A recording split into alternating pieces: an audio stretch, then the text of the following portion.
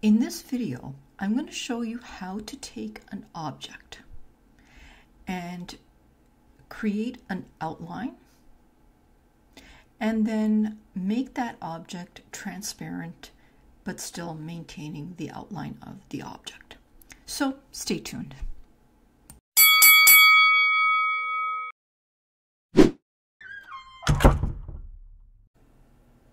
All right, so we're going to start by searching for an object or a photo, and you can do this with pretty much any, you know, either either an image, um, a shape, um, graphic. Uh, the only thing I advise you is to just make sure that you have the rights to modify uh, and use that object if this is for personal use, and then that's fine. If it's only for your exclusive personal use, but uh, just make sure that you're following Canva's terms of service um, before you use an, a, an image or uh, a graphic to uh, for reselling purposes. And for demonstration purposes, I am going to search for a hat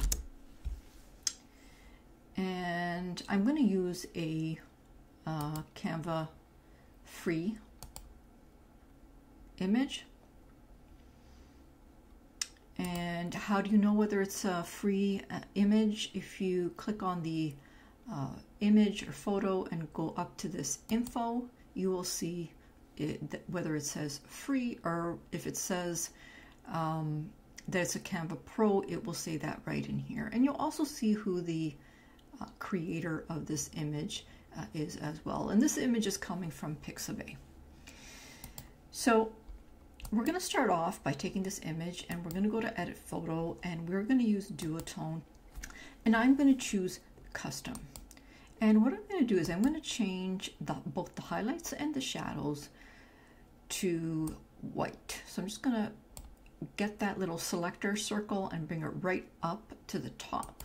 And I'm going to do the same thing for the shadows. I'm going to bring that right up to the top white. Now, it might look like I have nothing on my desktop, but I do. I have that image of the hat. And I'm going to click on this image and I'm going to go to edit photo and I'm going to go to shadows and I'm going to click shadows. And what I'm going to want to do is create an outline. So I'm going to create an outline and there's my outline. And I'm going to download this as a PNG. So there's the PNG, and I'm now going to uh, download this page.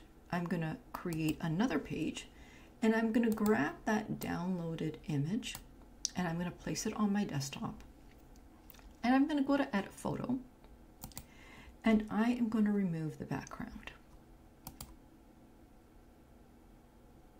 I'm just going to click BG Remover one more time because I want to make sure that the background was removed. And it was. And so here we have remaining is just the outline of the hat. So if I place a background, and you know what, I'm gonna uh, select maybe this one. There is the background. And if you want to change the color of the outline, all you need to do is just go to edit photo and go to duotone and you can change the outline color. Now, if none of these presets um, suit your need, you can always go to custom and then you can um, change the color to anything that you like. But just, you'll need to change both highlights and shadows. So I'm just gonna do that in here. And there we have it. So um, there you go. That is how you change the color quickly and easily. Please remember to always follow Canva's terms and conditions before you use any photos, or any uh, graphic um, uh, elements in any items that you are reselling on Etsy or Shopify. Let's take this one step further and you can add a little shadow action. All you need to do is just click on that photo, go to edit photo, go to shadows, and just click drop shadow. And now you've got a cute drop shadow for that outline.